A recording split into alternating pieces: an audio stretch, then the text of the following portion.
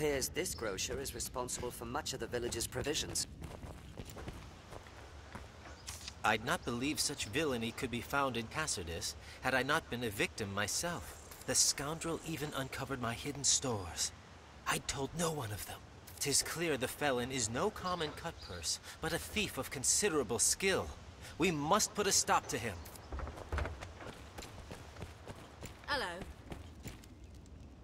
Aye, there's a thief about, and I've the missing wares to prove it. I even chanced to see the rat scurrying off after he'd lightened my stores. Quick as a flash he was. I'd have been impressed had I not been so angry. I only wish I had more to offer. You're always welcome here.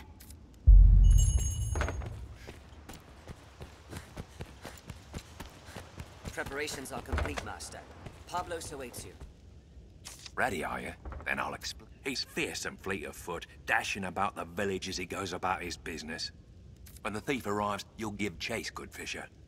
And we'll have those pawns of yours keep watch outside the village. With luck, you'll catch him with ease. Well, Done with your preparations, good fit? Then we wait. I shall get... Tis time, I think. And why not? As arisen petty thieves,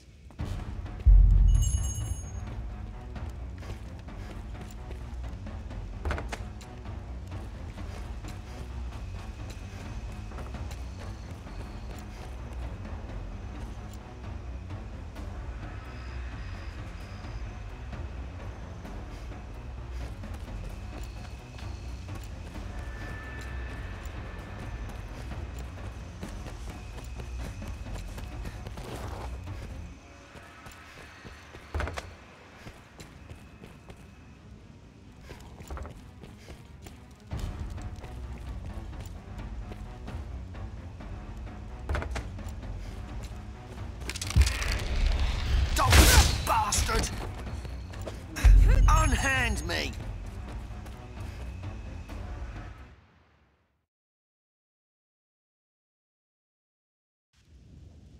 How's the day find you? It was fine work last night, good fisher. What's more, the rat you caught has a loose tongue. He spoke of the company he keeps. A band of thieves that style themselves the Iron Hammer. They've taken a stronghold in the south for their home. Seems they eat well on the goods they pinch from the merchants walking the nearby roads. If you cause to head south, pray keep watch for their ilk.